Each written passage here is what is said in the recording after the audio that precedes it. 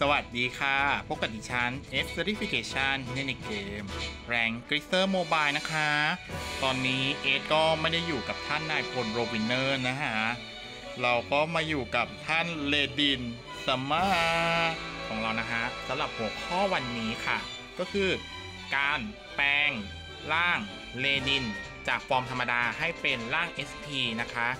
โดยการสอบ จะมีทั้งหมด 2 stage และทั้ง 2 stage สามารถสอบในวันเดียว only one day นะคะ ซึ่งสอบได้ตั้งแต่ทุกวันเสาร์ในครั้งเดียว หรือทุกวันพุธในครั้งเดียวได้นะคะ ถ้าพร้อมแล้วเราจะไปที่เมนูฮีโร่กันเลย ทุกครั้งก่อนสอบอย่าลืมเข้า เมนู Hopes and Dream เพื่อไปเอาหินทำให้เรดินเป็น FP Form นะคะ เราจะข้ามไปที่ตรงนี้กันเลยนะจ๊ะปึ๊บ โอเค ใน stage แรกก็จะประกอบไปด้วยเนี่ย Lord of บัลเดียขุนพลแห่งบัลเดีย ก็คือนักรบที่ทรงคุณค่าและกล้าหาญแห่งแสงสว่าง ราชาแห่งบันเดียกำลังเรียกร้องนายอยู่ การฟื้นฟูอาณาจักรเป็นเพียงแค่การเริ่มต้นเท่านั้น มีการท้าทายที่มากมายรออยู่ ก็จะต้องใช้จอย 40 กับของอัพคาทั้ง 30 40 50 ตามนี้นะคะก็คือไปแลกในกิลเอา นะคะ Shadow of Darkness เงาแห่งความมืด ถ้าความชั่วร้ายไม่สามารถเรียนรู้จากประวัติศาสตร์ได้ แล้วความมืดจะต้องถูกไล่ไปตลอดการในโลกใบนี้ ก็คือจะต้องใช้ทีมที่มีเลนดินผ่านอานิกินาม 60 หรือมากกว่าค่ะเอาไปเลย 65 ก็ได้นะคะ แต่อย่ากกดอันนี้เราต้องกดแบบนี้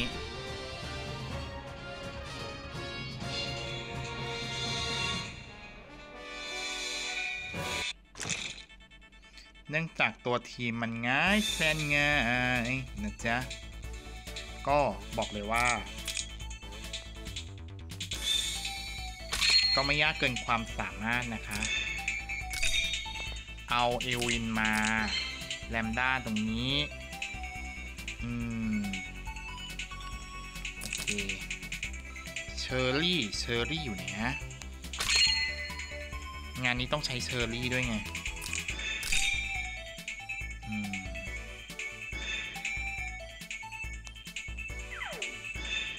อ๋อเชอร์รี่อยู่นี่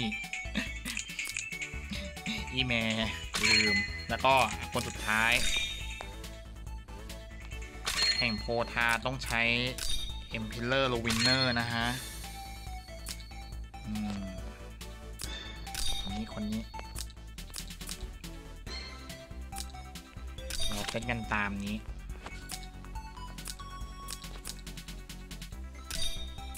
แบบนี้เลยจ้ะ ใช้พระเจ้าฟิกเถอะไวกว่า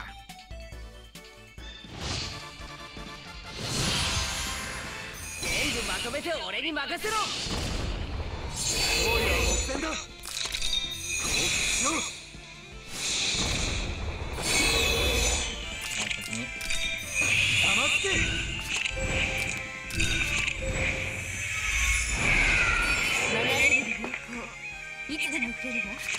ในเมื่อสถานการณ์ไม่เป็นใจนะ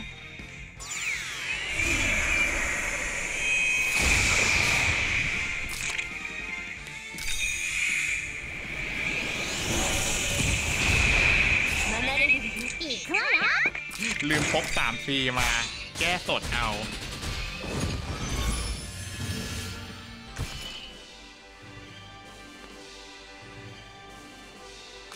ใช้ประโยชน์จากขุนแม่พริกของเรานะคะ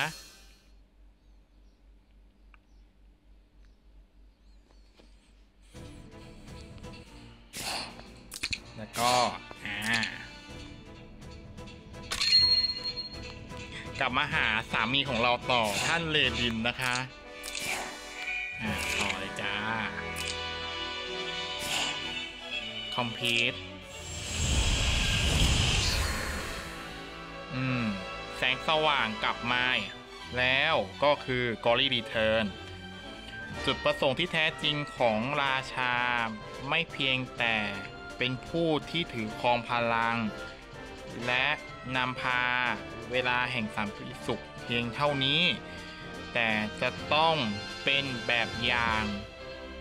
ซึ่งนำพาประชาชนของเขาในทางในช่วงเวลาที่คับขัน ก็จะต้องใช้จอยแล้วก็พวกกุญแจ ซึ่งไปขุดในบอลออฟเรียนช่วงที่เศรษฐกิจมันดีขึ้นในการผลิตกุญแจที่มากขึ้น เอ็ก็ใช้ง่ายตามนี้ค่ะค้อนแห่งการกอบกู้ Hammer of Retribution ไม่ว่าจะอยู่ในฐานะ ราชา หรือผู้อุทิศแห่งเทพธิดา ฉันจะต้องนำพา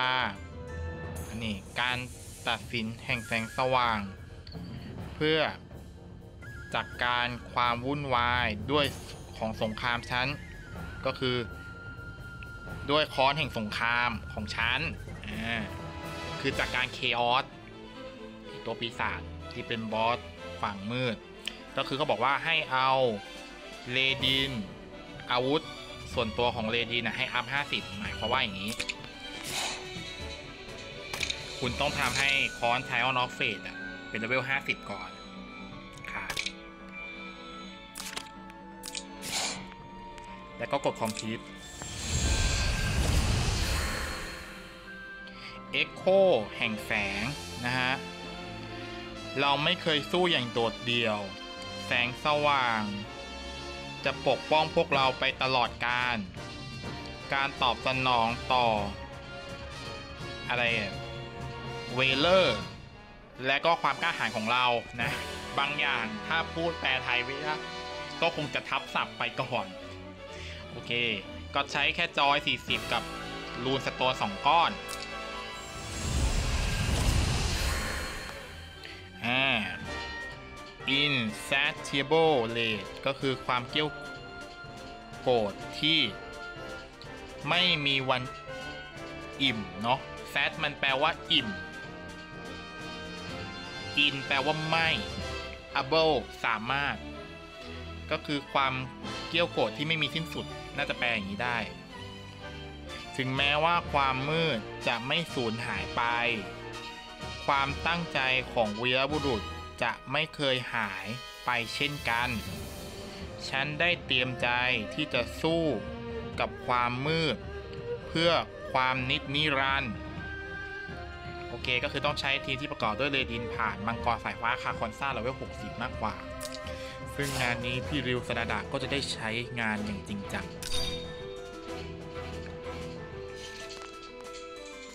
มีนักดาบสุดเท่อยู่ในทีมต้องห่วงแต่งานนี้นะ เราใช้พี่ทอค่ะ แต่อันนี้เขียเราใช้เจฟฟิกค่ะ เออ ต้องรู้นะ ต้องมีเรดินในทีมนะจ๊ะ แล้วก็อย่าเวอร์ว่าเรามีบักเอลวินในทีม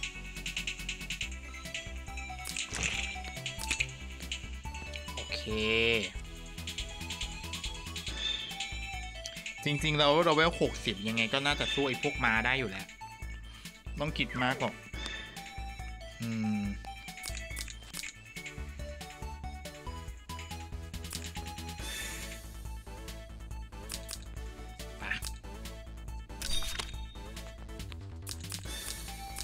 เฟดินนำคนสุดท้ายแล้วกันเนาะ แล้วก็ อ่า โอเค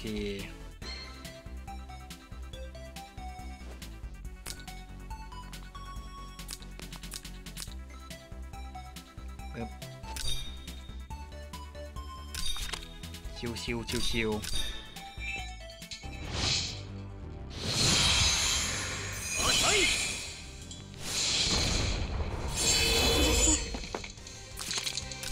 ちゃ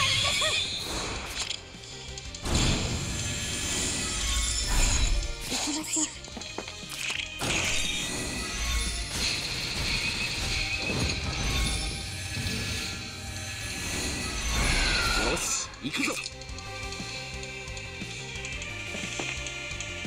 เ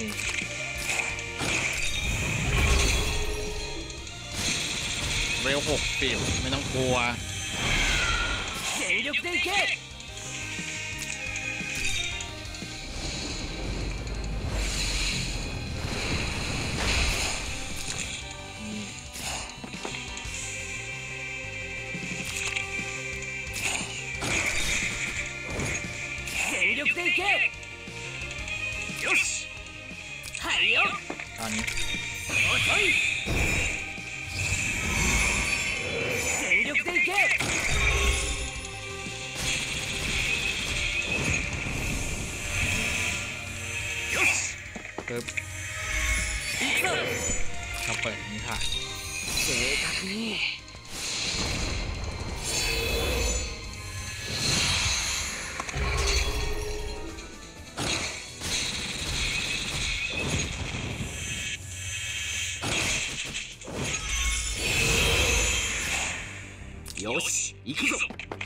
ม่มีอะไรยากมาก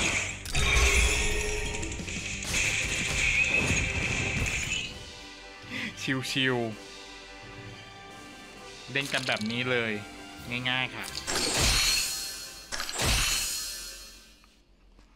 เลอะมันเลอะไม่มีอะไรขอโทษทีปึ๊บอะมาที่เมนูฮีโร่ แล้วก็มาหา husbando ของเราต่อท่านเลดินนะคะต่อเลยจ้าแล้วเราก็กด complete รงนี้ มาวีรบุรุษของเทพธิดา เทพธิดาก็คือลูซิลิสนะฮะ โอเค ทุกยุคสมัยได้กำเนิดฮีโร่ของพวกเขา เมื่อความมืดเกิดขึ้น เหล่าวีรบุรุษผู้กล้าแห่งเทพธิดาจะต้องก้าวข้ามเวลาและมิติ เพื่อที่จะช่วยเหลือและต่อสู้ ในฐานะทีม อ่าคราวนี้ก็จะได้ทาเลนต์ใหม่นะฮะ Wheel of the Divine King ก็คือความตั้งใจของราชาแห่งแสง คลาสใหม่ก็คือ P Orden Monarch น่าจะแปลว่าเป็นกษัตริย์ฝึกหัดนะ แล้วก็ new model available ก็จะเป็นอย่างนี้ อันนี้ก็จะมี talent ว่า อันนี้คือบอกตั้งแต่ 6 ดาวเลยนะ บอกว่า มีดารับดาเมจได้ ลดลง 25%แล้วก็รับการโจมตีแทนเพื่อนในระยะ 1 ลิงก์อารมณ์เหมือนอันเบอร์โดค่ะ แล้วก็ถ้าถูกโจมตีประชิด การันตี 2 ครั้ง และมีโอกาส 70%ที่จะได้โจมตีก่อน ก็คือจะได้ส่วนก่อนนั่นแหละค่ะ มันก็แล้วแต่ดวง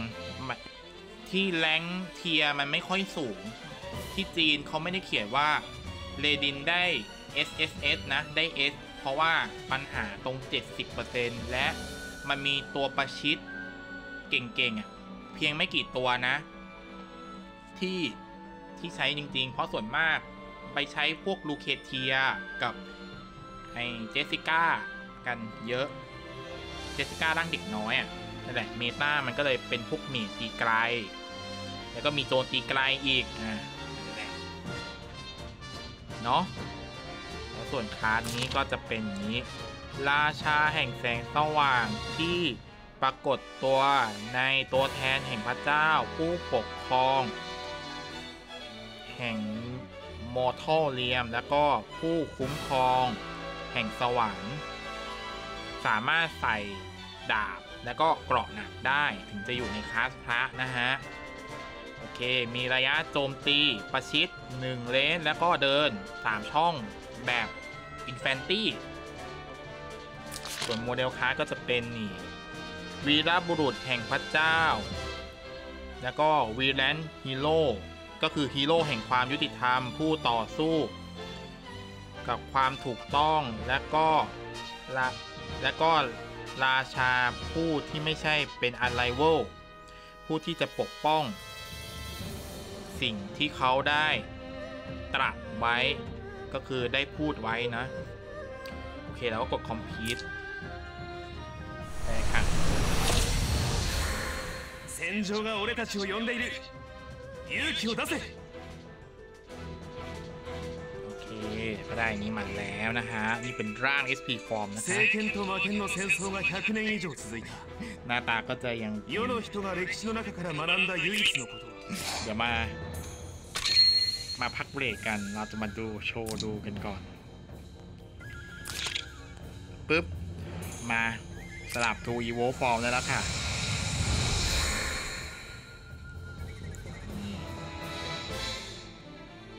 จริง ๆ มีประวัติเพิ่มเติมนี่ การได้เป็นราชาแห่งบันเดีย แล้วก็ผู้กล้า เลดินผู้กล้าหาญและล้ำค่า ได้เดินทางประจนภัยเพื่อแสงสว่าง เขาได้ก้าวข้ามสถานะจากราชา ห่งความตายและกลายเป็นนักรบที่ถูกเลือกแห่งเทพธิดาฝั่งแสงสว่าง เขาต่อสู้ด้วยความกล้าหาญเพื่อแรงศรัทธา ของเขาในอนาคตอันแสงสว่าง สงครามที่ต่อสู้ ทั้งแรงกิเซอร์และอนาศาสตร์ก็ยังไม่มีวันสิ้นสุด มนุษย์ไม่มีวันรู้เลยใช่ไหม 何？よ俺は剣士レディに勝負をつける時が来たな。少年突破。兄が？気に入ったぜ兄弟。マルディア王国のかつての栄光もインドを阻む敵がいるのなら倒せばいい。政権と魔剣の戦争が100年以上続いた。世の人が歴史の中から学んだ唯一の確かにだいぶ楽になったよ兄弟お礼に ก็ยังยิ้มเหมือนเดิม 俺 นะ がマ ฮะ ッサージしてやるよ โอเค มา เดี๋ยวเรามาต่อกันเลยนะฮะอ่ะไปเมคโอเวอร์ ต่อมาก็เป็นสเตจที่ 2 นะฮะ Ray of Holy Light มันคือ แสง แสงแห่งแสงสว่างอะไรกำเนิดแสงสว่าง โอเค จริง ๆ Ray มันแปลว่ารังสีนะอืมอันนี้เผื่อโอเค แสงที่มีความสำคัญมากของเทพธิดา เหล่าผู้กล้า ที่มีแรงศรัทธาในหัวใจ เทพธิดาจะอยู่ข้างคุณ ก็จะต้องใช้ไอ้พวกนี้ ของ upclass ซึ่งอันนี้น่าจะเป็นพวกตระกูลที่มัน drop มาจากพวกไอ้ด่านมังกรขาวเลเวียนะคะ โอเค กด submit ไปเลยค่ะ บททดสอบของวีรบุรุษ Trials of Hero ในฐานะพลัง แห่งความมืดที่มันยังรวมตัวอยู่ในช่องว่างของ chaos อะเนาะก็วีรบุรุษแห่งแสงจะต้อง มุ่งตรงไปข้างหน้า เพื่อที่จะทดสอบ และกวาดล้างด้วย แสง สว่าง ก็คือต้องต้องใช้ทีมในเลดิน ไปเล่นคานิกินาย65 หรือมากกว่าจ้ะแน่นอนว่าเอสก็ใช้ทีมเดิมนี่แหละค่ะ เอาขนมปังหมด อย่าลืมเติมนะจ๊ะบายจ้า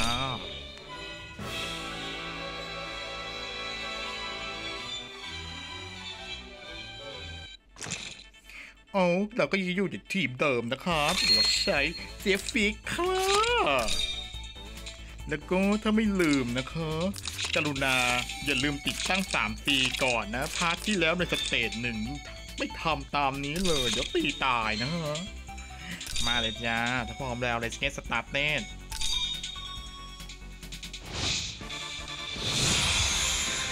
全部まとめて俺に任せろ王位は目前だ ปึ๊บ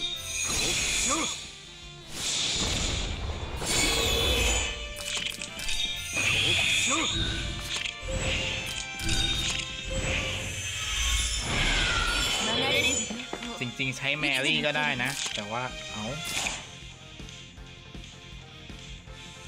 ระยะบอพอ ไม่เป็นอย่างดอก ท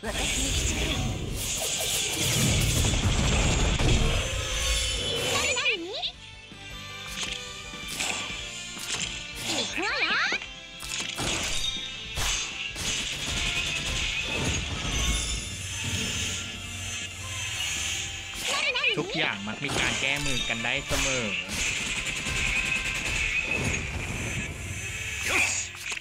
เรียกพระเจ้า ฟิกมาเลยค่ะ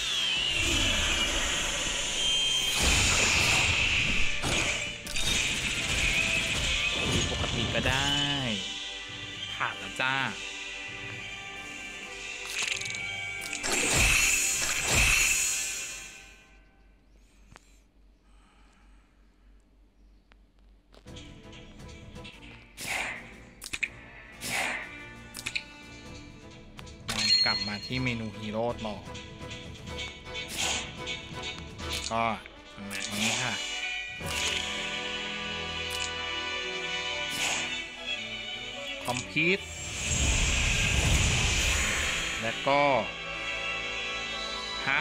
Heart of the Sacred หัวใจแห่งความศักดิ์สิทธิ์ พระเจ้าไม่ได้มีแค่พลังที่สมบูรณ์ทั้งหมดนะนะ แล้วก็ Mortal ก็เป็นแรงขับเคลื่อนที่ให้ก้าวข้าม อะไร Ordinary แล้วก็เข้าร่วม แสงสว่างที่มีความกล้าหาญและแรงศรัทธาขั้นสูง อันนี้ก็จะต้องใช้ของปลดบอล ที่ได้จากบอลเลียม แล้วก็ได้จากไอ้พวก Eternal Temple Level 70อืมด้วย น่าจะเป็นจันเซียวเนาะจำไม่ผิดอ่านกดซับมิดไป แล้วก็ ความมืดที่ล้อมรอบหายนะเนาะโอเค ถึงแม้ว่า อะไรเนี่ย d ด s p a i r ของคุณจะต้อง overtake คื คือนำพานายไปสู่ความมืดที่ไม่สิ้นสุด แสงสว่างก็จะที่ยังไม่สูญหายก็จะยังอยู่ในหัวใจของนายอโอเคก็คือต้องใช้ทีมที่ประกอบในเรดินเล่นมังกรสายฟ้า ซึ่งแน่นอนว่าเดี๋ยวใช้ทีมเดิมนั่นแหละเจ๊ไปเลยนะคะเร็ว65ง่ายๆชิวๆ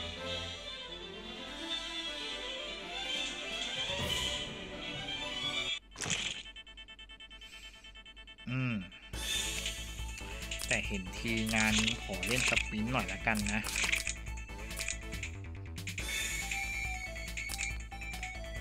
โอเค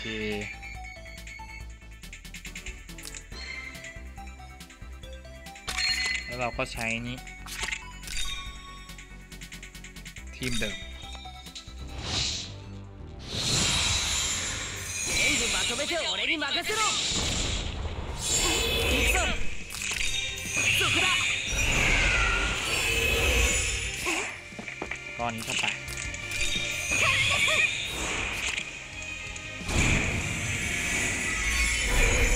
行きなさい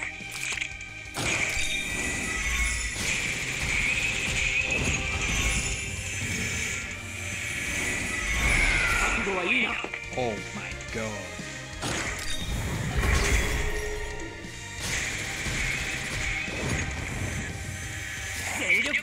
ก้อนนี้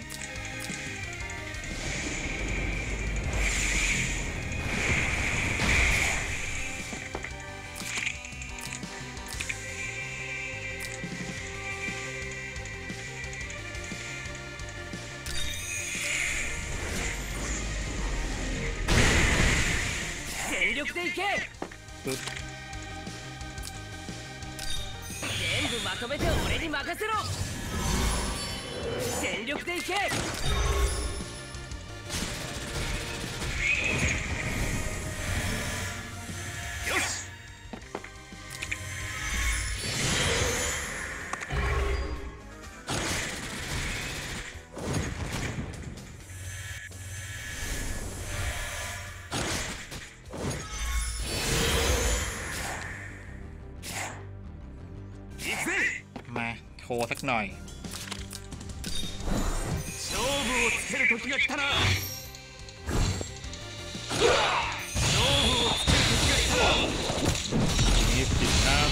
แววตายิ้มที่อันหล่อเหลาคมคาย 行くぞ ก็นี้เธอฟิชเชนบ๊อบ 正確に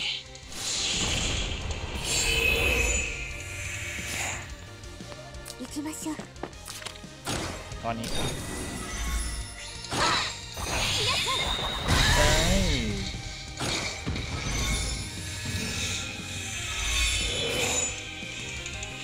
ของอีกหน่อย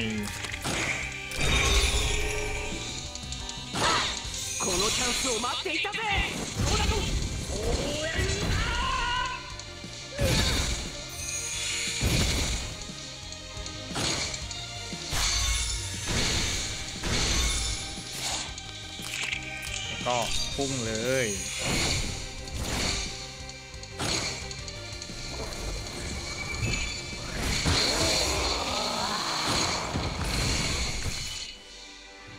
ไวขึ้นนะจ๊ะ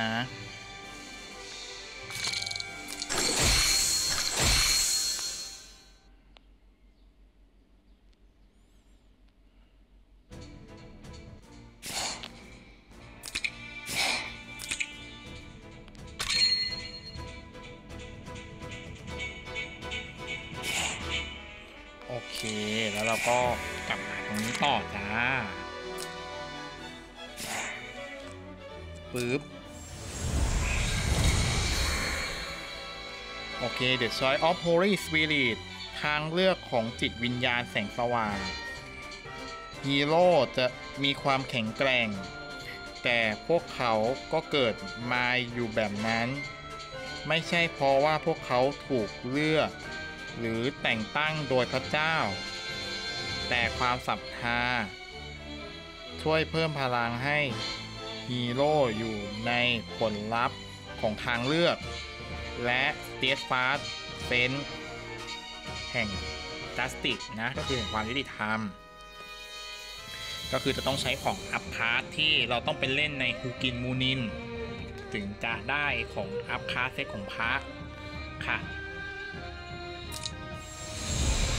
แล้วก็พวก memory shard ที่ได้มาจากส่วนเกินจากในการกดกาชาด้วย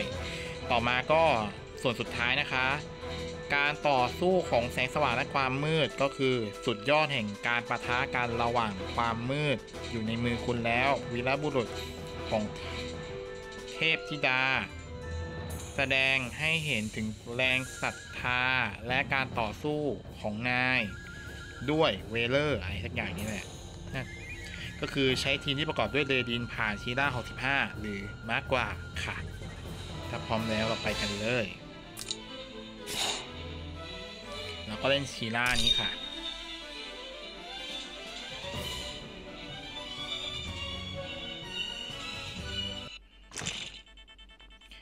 โดยคราวนี้เราก็ได้ใช้แน่นอนนี่มี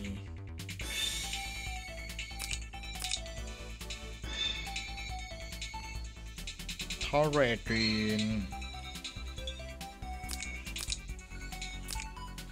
มีเจสนะคะ แล้วก็ใยเชอรี่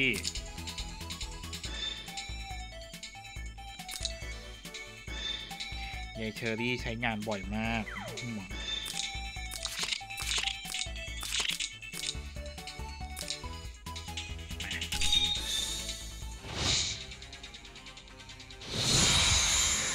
全部まとめて俺に任せろ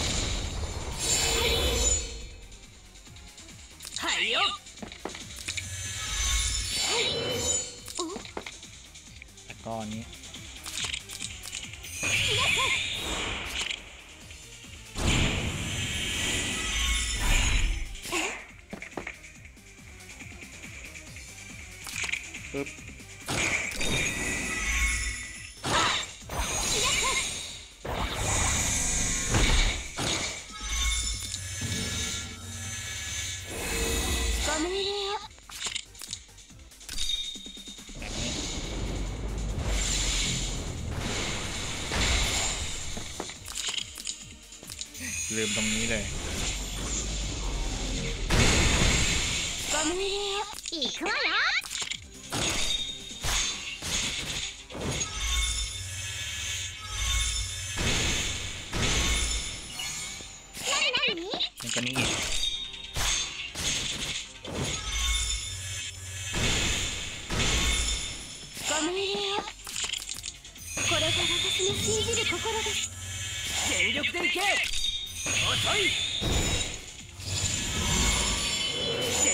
け。いけ。ねえんだ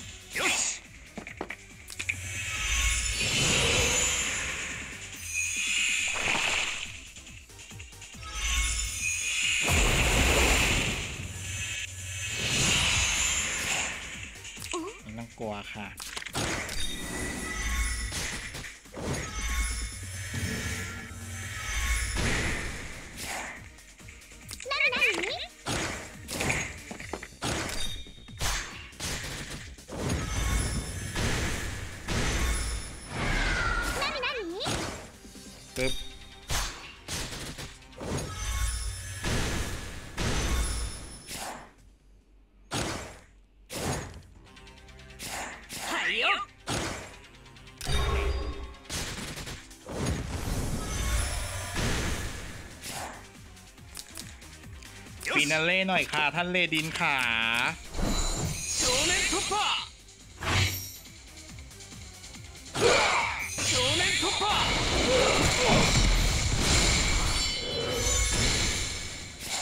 ไม่สำเร็จ โอ้สองพันเก้าสิบเจ็ดเยอะอยู่นะเนี่ย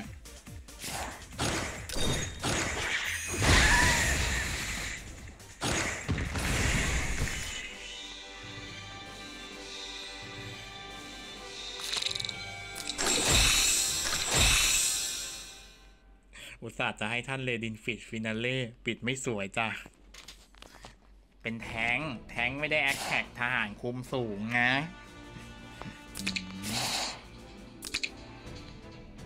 มา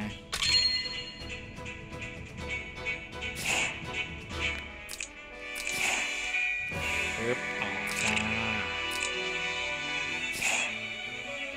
แล้วจากนั้นเราก็กด complete นะฮะ แล้วก็ The P Orden Monad ก็คือกษัตริย์แห่งการ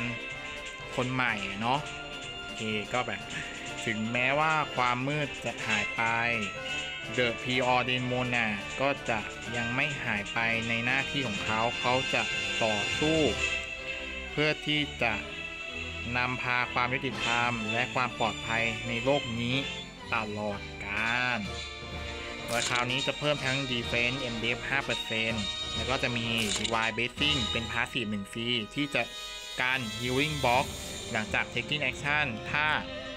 ถ้าเกิดว่าฮีโร่ไม่ได้มี Almighty Guard เขาก็จะได้รับ Divine Guard ทำให้กาด2บล็อก โดยที่เราไม่ต้องไปพก Divine Guard เพิ่ม เลยนะคะนั่นแหละซึ่งมันจะทำอีกครั้งภายใน 3 เทิร์นแต่มันก็ ล้างออกได้เหมือนกันนะนี่ต้องระวัง แล้วก็ส่วน o r i Justice ก็ออกแบบมาเป็นคูดาว 2 ตีไกล 2 ช่อง ก็คือถ้าเป้าหมายเป็นเดมอนดาเมจก็จะเพิ่มขึ้น 20% 2 เทิร์น ในระหว่างต่อสู้ ก็จะฟื้นฟู HP 30%ของดาเมจที่ทำได้หลังต่อสู้ถ้าโจมตีด้วยกันได้ ก็เหมือนเป็นการเอาซันสแลตที่ผสมกับแอร์สแลตตีไกลอะนะ นั่นแหละ อารมณ์ประมาณนี้ถ่ายใหม่ก็เป็นสเตตการ์ดค่ะ เราก็กดคอมพิวเลยนะ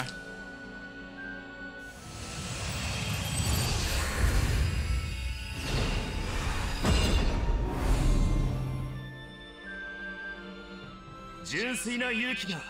純粋な勝利を運んでくれるもちろん兄弟 โอเคก็ถือว่าสมบูรณ์แบบ แต่ก็ยังไม่สุดนะคะ เพราะว่าเดี๋ยวต้องไปนี่อัพการ์ดต่อซึ่งต้องไปทำในนอกรอบ สิ่งสำคัญเอสอยากจะบอกให้ถ้าเกิดว่าเราเล่น PVP อะยังไงซะ มันมีประดับ 2 แบบที่เล่นได้ดีสุดคือจะใช้บัตแท็กหรือจะใช้อีกอันหนึงก็ได้ ก็คือ ถ้ากลัวโดนลด stat จากลูเคเทีย ก็สามารถใช้ Overlord ทดแทนได้ถ้ามีเหลือค่ะ แต่ถ้าเล่น PVE แล้วเจอประชิดเยอะๆ ขอแนะนำว่าให้ใช้นี่ไปเลย Holy Art Holy Art กลายเป็นของดีที่แทงกายภาพส่วนประชิด อย่างเลดินสมควรใส่มากที่สุดถ้าเล่น PVE ค่ะ For PVE he used Holy Ark very well I confirm ตามนี้เลยจ้ะแล้วก็เดี๋ยวจะมา เทสกันหน่อย โดยคราวนี้จะให้ ไปเทสในด่านนี่แองเจลิก้า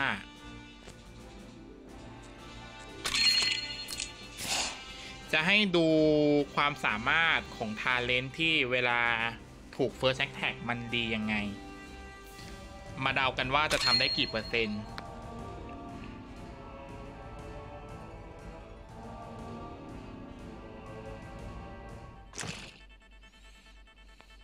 โอเคก่อนอื่นเลยเราจะต้องให้ท่านเลดินเรานี่ ช้ทหาร SP นาวาสเตตการ์ดดีกว่า เวลาเราเซตสกิลนะ เราจะมีวิธีเล่นอยู่ 2 แบบ ถ้ามีคนบัฟเราจะไม่เซตวินดิเคชันแต่เราจะเซตท่านี้ Holy Justice แทน ท่านิยมที่เทสบ่อยๆ คือไลท์เทสตัวเอลท่า3ปีพื้นฐาน แล้วก็ท่า DY Basing ที่จะเสริมการทดแทนโดยที่ไม่ต้องใช้ DY การ์ด ไปเลยจ้า บางทีอาจจะเซต e block แทนก็ได้ แล้วแต่เพื่อเพิ่มแรงป้องกันที่มันมากขึ้นก็เป็นได้ แต่จริง ๆ โดยทาเลนต์มันก็ให้มา 25 ก็นับว่าเยอะอยู่นะก็เพิ่มมานิดหน่อย บางทีก็นิยมใส่ Holy Justice หรือบางทีก็เอาไปเพิ่ม Passive Block หรือไม่ก็ Light Reflect แต่ส่วนมากเขาจะเพิ่มเนี้ย Indication พอ โอเค พระเจ้านิยมนะ เขาใช้ไฮดัมนะ แต่ว่าไฮดัมเอสอะดีเฟนต์ยังไม่สุดพอ จึงใช้ได้แค่ทอเท่านั้นจ้ะถ้าใช้ฟิกก็เอาพลังป้องตัวเลขมารวมกัน แต่ท้ายที่สุดอะทอจะดีกว่า เพราะว่า มันเอาตัวเลขเขียวไปคิดแล้วเดี๋ยวพอมันไปคูณกับของอุปกรณ์อะยังไงจะเยอะกว่า ก็เลยพอก็เลยชนะ โอเค คราวนี้ก็จะเป็นตามนี้ เพื่อพิสูจน์ว่าทำไมถึงต้องติดท้าติดหนึ่งซีโดยที่ไม่ต้องทำอะไร อะ สมมติเรายืนเฉยๆ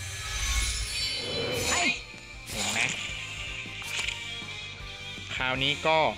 ทำงานเลย DY กาดมันก็ได้ แต่ว่ามันไม่ได้กาด2บล็อกนะ จริง ๆ อะ มันอยู่ในอำนาจกาดแค่ 1 ลิงก์ตามคาเลนเพราะฉะนั้นก็ ถ้าเอยืนแบบนี้อะ อะเดี๋ยวจะอธิบายภาพช้านะสมมติว่าเอสชาแบบบัฟแบบนี้นะ 勝負をつける時が来たなはい行く แบ ぞ บเนี้ยเขาจะการแม็กคิวไหมอ่ะ พิสูจน์ให้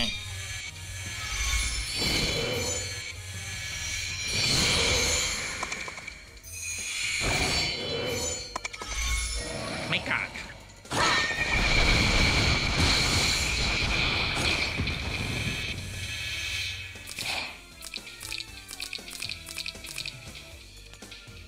อยู่ในกว้างกว่านี้ เรายืนแนวนี่ แนวทะแยงตรงนี้ที่มันบอกว่าเป็นหนึ่งริ้งเราเห็นเทิร์นให้ดูนะอธิบายแบบนี้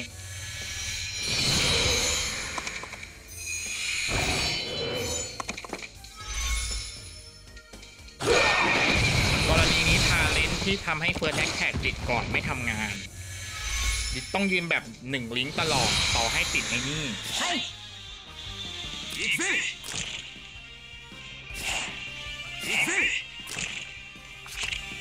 พอพอไอเนี้ยมันหมดพร้อมกันใช่ไหมมันก็จะต้องกลับมาที่หนึ่งลิงก์ตามเดิม นั่นแหละ เพราะฉะนั้นแล้ว เราจะมาวิเคราะห์ว่าเราจะดูเราจะสังเกตยังไงว่าจะได้ First Attack จริง ๆ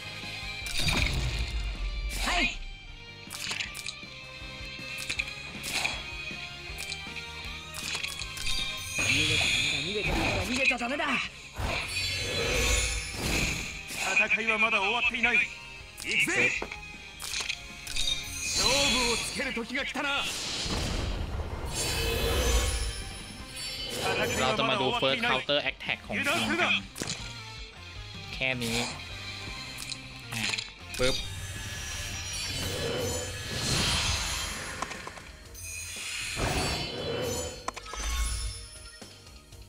อันนี้ถือว่ายังไม่ได้ ยังไม่เจอ First Attack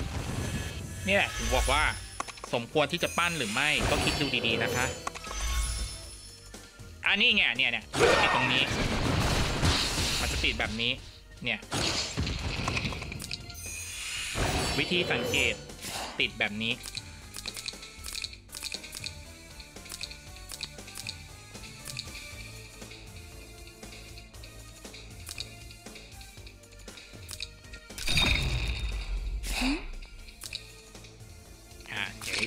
ดูนะภาพช้านะคะ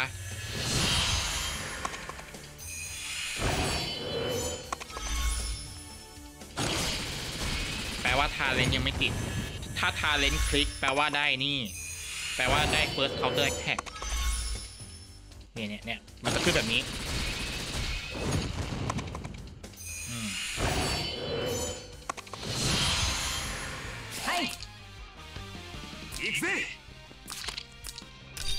นี้จะต้องขอให้ดูภาพสดดีกว่า แต่ส่วนวิธีการทดสอบว่าต้องปล่อยตรงไหนถึงจะได้ มันจะดึงไปตามไหนก็ ต้องดูกลไกดีๆเนาะอะต่อเลยนะคะ สมมติว่าถ้าดึงแบบนี้ดึงมาจากตรงนี้อะ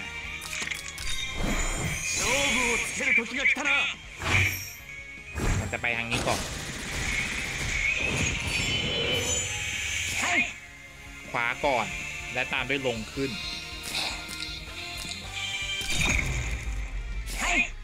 ดึงมาแต่ตรงนี้อ่า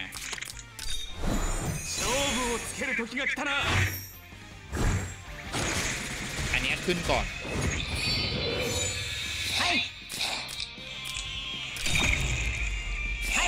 นี้ท่านี้ล่ะ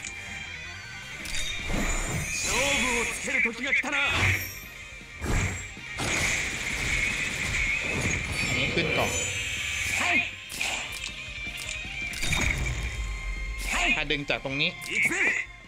แต่ถ้าดึงอันนี้คือขวาก่อน แต่ถ้าดึงอันนี้ล่ะ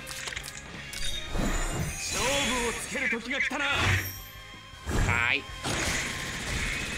เพิ่มเป็นแบบนี้ไม่ได้ลงนะ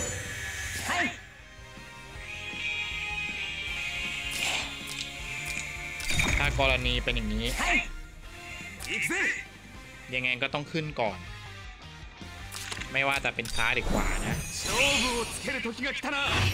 ขึ้นขึ้นนำก่อนเสมอ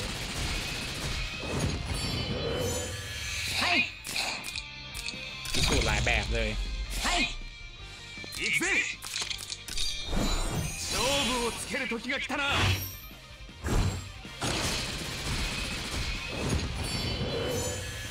い เว้นแต่ว่ามันปอออกกรณีอุดมันตรงเนี้ยแล้วดึงแล้วมีอุดสามอุดอ่ะมันจะว้าร์ปไปตรงนี้ แต่ถ้ามันมีอุดสี่อุดเนี่ย ไม่ถือมันก็ถือว่าได้บัฟนะ แต่มันไม่ได้ทำงาน โอเค เพื่อให้ดูว่า จะได้จะได้ดวงกี่ครั้งในการสวนก่อนอ่ะ ให้ดูค่ะ จะเป็นการปิดคลิปแล้วนะอันนี้ยูนิกแรกยังไม่ได้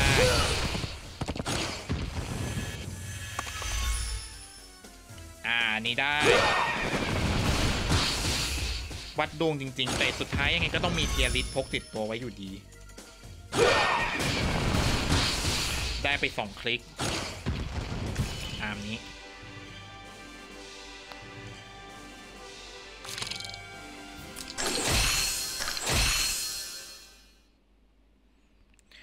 เค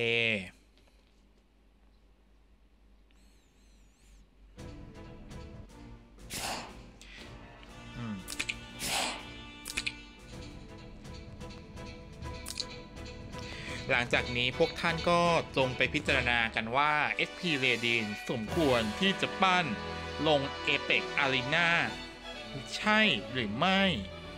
หรือปั้น PVE แล้วดีหรือไม่ ก็ หลังจากที่ทดลองดวงการสวนก่อนอะ70%คือ 6 ดาวอะและมันยากเลยนะ แต่ข้อดีคือมันปรับจากร่างปกติให้เป็นร่าง SP เพื่อให้สวน 2 ทีอะ